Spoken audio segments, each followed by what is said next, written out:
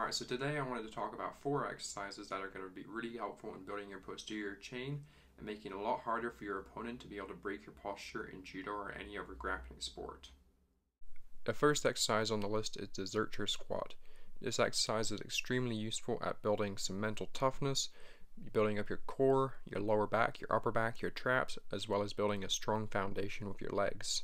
I just posted a video the other day on how to do a Zercher squat, but the main points here are have the bar in the crooks of your elbows, hinge at the hips, bend your knees, have the bar go to your thigh, and then stand back up. Some of the benefits compared to a back squat is that there's a much greater core and lower back activation, so if you're looking to not have your posture broken, this is going to build up your core a lot stronger than any sort of other squat.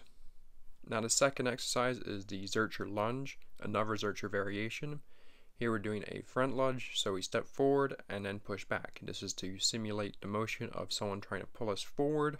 We have to take a step forward and then we repel that motion and move backwards. Some of the benefits here are that this is a unilateral exercise with elements of cross-body stabilization and anti-rotation. This is useful because no one is trying to break our posture by pulling on both of our shoulders with equal force, so we need to have a strong core that can resist rotation.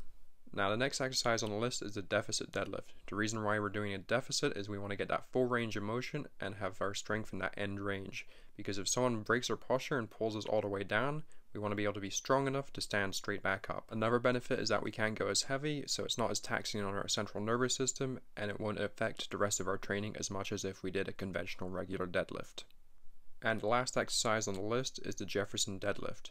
Note how I am putting my feet in a more 90 degree angle to try and make it more specific to my judo stance. This exercise can be quite specific to judo as we are quite literally trying to resist breaking our posture in our judo stance. Some points to note is I make sure to bend over quite a bit in order to get that posterior chain development and I try to keep my back as neutral and as straight as possible. Alright, those are the four exercises. I hope this video helps you and if it does let me know in the comments. Make sure to like the video to support the channel, and if you're new to the channel, please subscribe. And of course, I'll see you in the next video.